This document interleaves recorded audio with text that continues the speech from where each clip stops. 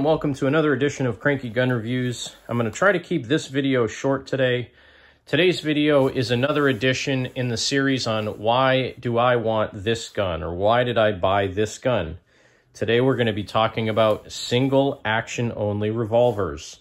And I have two examples of that here. On the left is the Ruger Wrangler in the bronze Cerakote finish. This has Altamont wood grips on it.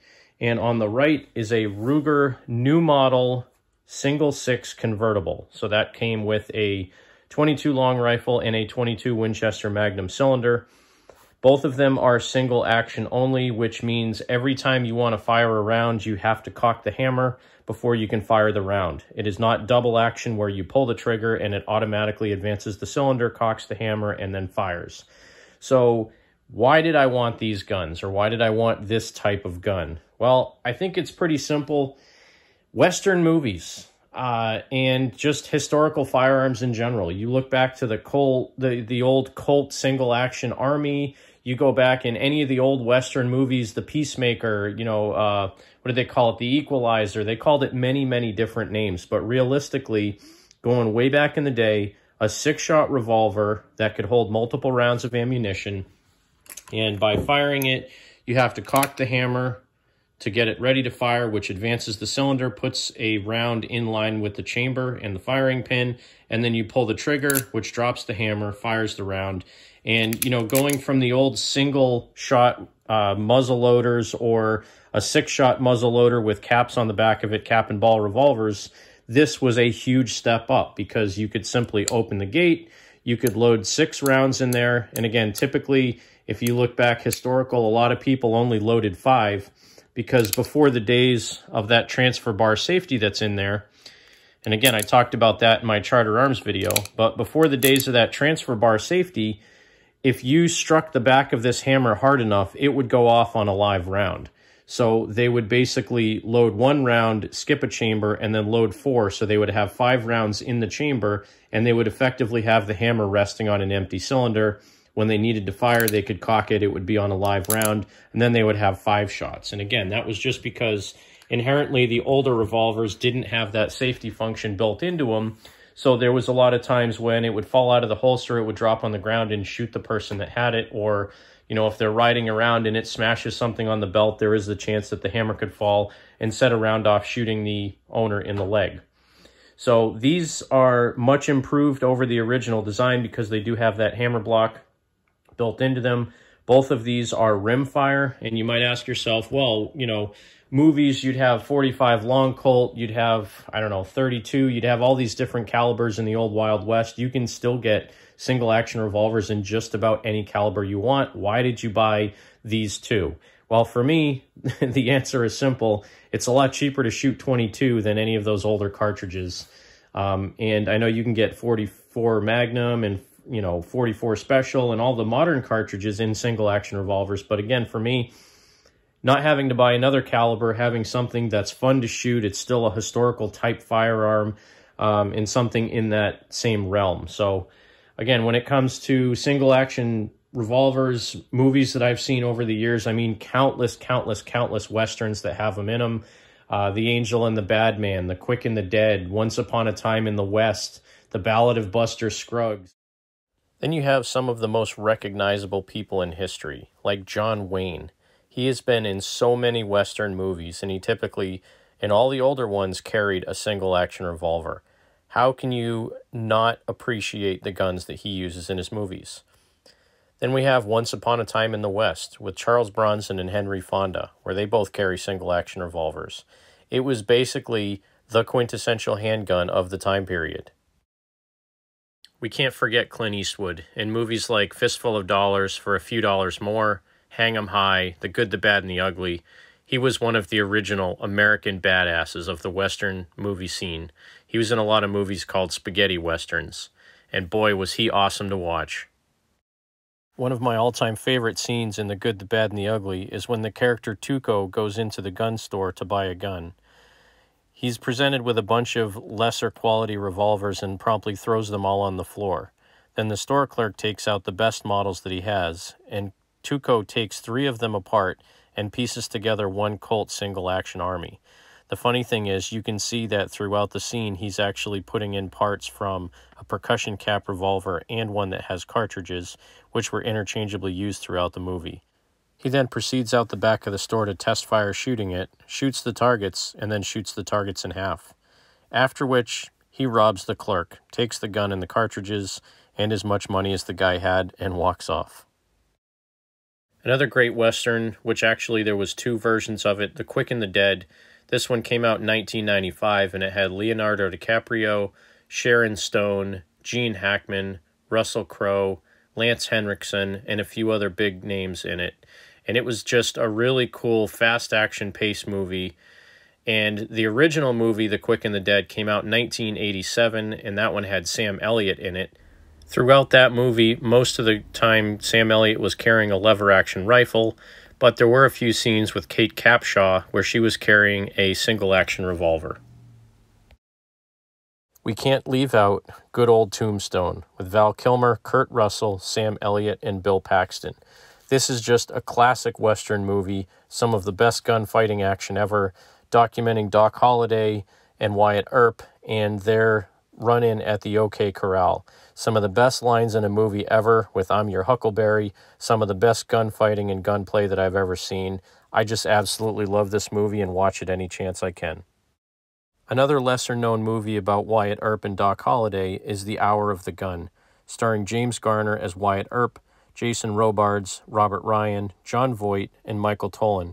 It was meant to be a more historical look into the events around the gunfight at the OK Corral and the events that happened afterwards, with Wyatt Earp's two brothers being killed and then him deputizing people to go out and chase down the bad guys. It's a great movie. As I said many times, James Garner is one of my favorite actors, and Jason Robards also does a great job in this movie.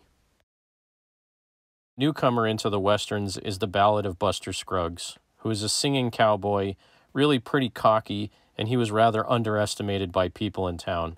But it's his cockiness that really got him killed in the end of the movie. I won't spoil it for you, but the gunfights in this movie are comical in the way that they're done, even though it's kind of gory how he shoots people. But realistically, the movie was done really well, and it's just one of those fun movies to watch. You know, there's so many different movies, different actors that had him out there. They're just the cool pistol that somebody would have as a sidearm. They might have a lever action or a shotgun with them when they're riding their horse, but they always had a single action pistol on their hip. And you know, you see the guys out there with these spinning them around and and throwing them in the holsters. I've tried to do lots of spinning on these, but I'm too worried about dropping it um, because again, I can't replace these if I break them. So I don't want to spin it around a whole lot, but you know, every once in a while you do tend to fool around with these a little bit just to have that same feel if you were a cowboy to get out there and shoot and you know fling these things around throw them back in your in your holster and things like that. But it's just one of those quintessential firearms. It's very historical. They've been around since the 1800s in various different fashions various different length barrels various different calibers configurations. Um, but in general they all function very similarly where you have to cock the hammer and pull the trigger to get it to fire uh, and they're just a lot of fun to shoot. I mean, I have a couple of videos with my Ruger Wrangler in it. It may not be a precise target model because it has fixed sights on it and it basically has a trench rear sight. So if you look at it going down, this is your rear sight. It's a notch, kind of like a J-frame revolver, and then you have a fixed front sight on here. And, you know, from the factory, these can be off a little bit. I think mine shoots to the side a tiny bit, but for what it is, I mean, these you can get for between like 179 and 225 dollars usually all day. They come in many different colors, silver, black, gold. They make bird's head models now with a shorter grip that just curves in. They make um, the bird's head model has a little bit shorter barrel on them. The Ruger Wrangler is not the least expensive single action 22 revolver. You can get the Heritage Rough Rider, and I think Diamondback and a couple other companies make a single action 22 revolver but this is what I bought. So I got this one. I like the Cerakote gold finish on it. It looks pretty good. And I didn't like it when I first bought it as much, but I had held the silver model, the black model, and the um, the bronze one all side by side. And to me, the bronze looked the best. And then once I got these Altamont grips, they really pick up the light well. So they give it a, a great look. They're a little bit thicker than the standard grips that were on this, so it feels really good in the hand. It's a natural pointing gun. When you hold it, it just feels normal to just grab it in the middle and hold it. It always seems to point really well. So love the design of these. I love the um, the cost of these. They're very well made for the money. The Wranglers, they only make in 22 long rifle, but the nice thing about that, you can shoot 22 short, 22 CB long, 22 long, and 22 long rifle out of these. You can shoot low velocity, high velocity, subsonic, lead, um, plated, anything out of a revolver. That's the beauty of having a revolver. You can shoot, you know, 22 shot out of these as well. So they're very versatile firearms when it comes to that. And then the single six, the nice thing about the single six, they're more uh, made like a full-size heavy-duty revolver in a larger caliber. So these have an all-steel frame. The um, the Wrangler, I think, either has a zinc alloy frame or an aluminum alloy frame, so they're a lot lighter, which is why they can make them a lot less expensively. This one has an all-steel frame, steel hammer, steel cylinder, steel barrel, and these obviously you can get in much longer barrel configurations. This is a six and a half inch barrel configuration.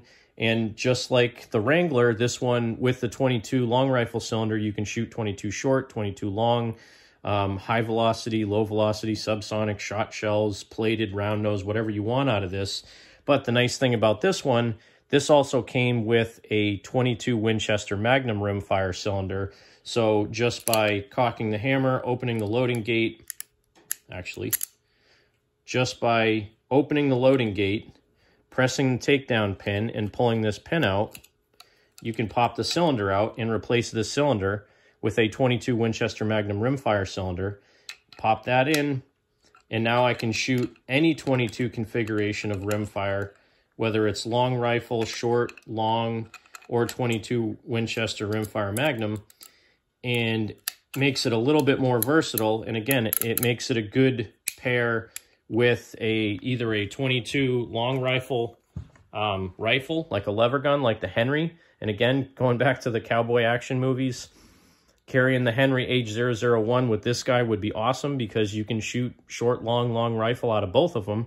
Or if I throw the Winchester Magnum rimfire cylinder in this, I could carry this out with me in the field with my Ruger American in 22 Winchester rimfire Magnum and have two guns that shoot the same thing. I've talked about same caliber firearms before. I think it's a really good deal, uh, a really good idea if you had a situation where you had, you know, an SHTF situation, or even if you're out hunting and you're squirrel shooting or something like that, to have a pistol that has the same caliber as your rifle when you're out there.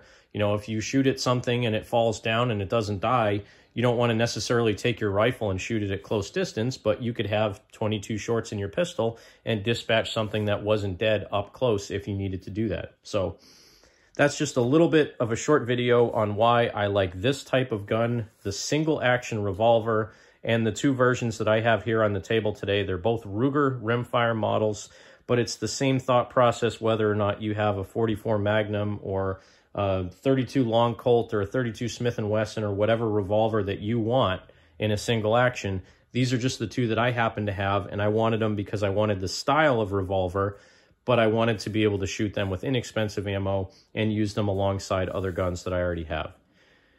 So thanks for watching Cranky Gun Reviews. This has been another short installment on why I like this gun or why did I want this gun.